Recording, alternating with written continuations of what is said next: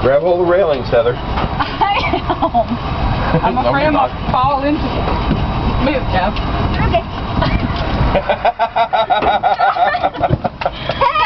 Hello! Stop, you're going to pull it off. Hey, can't jump in and flip it over. No, just Papa! let me go. Papa! Alright, get the ladder down for her. Get swim to the other side of the boat, baby. Oh, Papa. There you go. I know, I got it. Need help, sweetie? Not now. Thanks a lot. Well, I tried. You wouldn't let me pull you up. Go around the bow, Heather.